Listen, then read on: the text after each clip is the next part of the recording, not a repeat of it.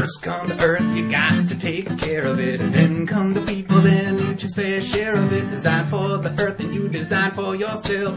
Help design a world better for you and everybody else.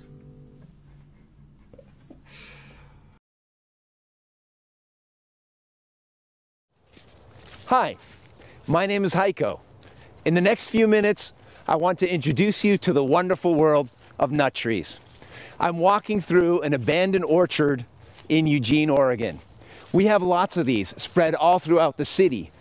They are remainders from the day when there were orchards everywhere in places that have now turned into neighborhoods. So when I see an orchard like this, I get very excited. And I'll, let me tell you why.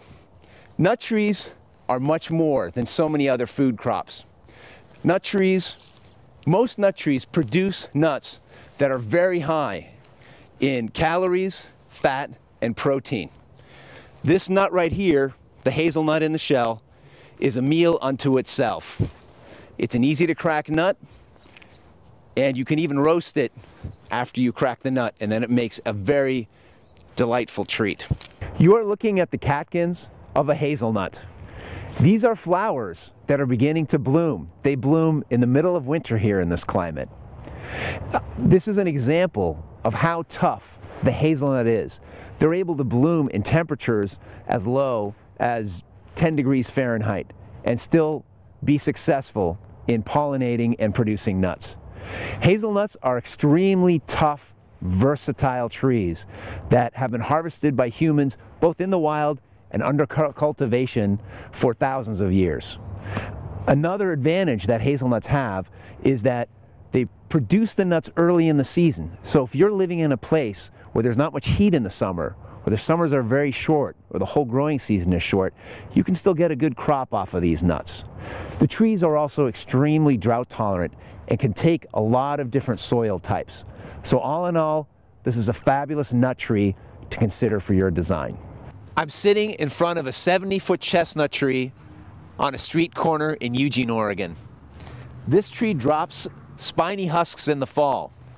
Inside these husks, you'll find abundant, delicious nuts that look like this. These nuts can be baked and eaten. You can also mill the nuts into a flour and use them as a bread replacement.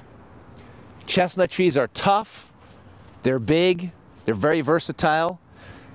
There are uh, problems with uh, disease in American chestnut trees, but there's varieties of chestnut trees that have been bred from European, Chinese, and Japanese chestnuts that are disease resistant that we can do today.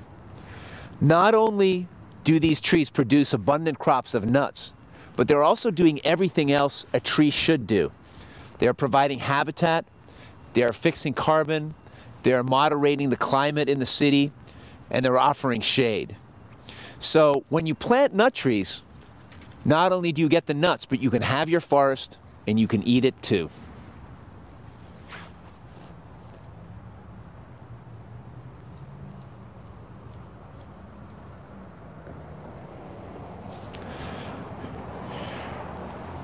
Behind me is a walnut tree. Like hazelnuts, walnuts are highly nutritious. Every nut is high in calories and contains fat and protein. You might say, well, I don't want to eat a fatty nut, I'm trying to lose weight. Um, this may be true if you consider the number of people on the planet who are starving, the amount of food insecurity we have in this country. Growing more nut trees can be a great boon to help us feed people. If you look up at the size of this tree. It's probably 50 feet wide, 50 feet tall. You can imagine the amount of surface area that can bear productive nuts. We can get hundreds of pounds of highly nutritious nuts out of this tree.